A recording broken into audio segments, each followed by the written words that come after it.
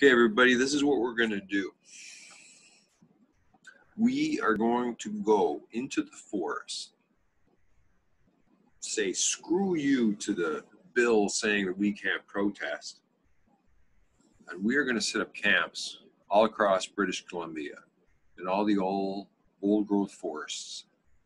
And we are going to put an end to this this year. And that's that. And if there's anyone out there who wants to join Captain Sweep, join the Old Growth Forest Protection Coalition.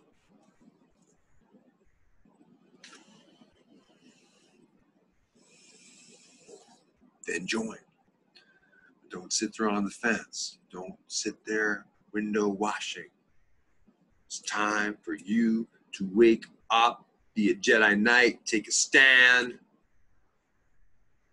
do something with your life. Talking to all those unemployed 20 somethings, hanging out, doing nothing. And you're just going, what am I going to do with my life? Well, put it to good use.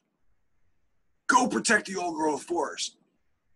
Get in the car, get your crew, get a camera, get supplies, live in the forest, protect it. There's nothing more important to do in your sorry life than that, is what I think. Uh huh.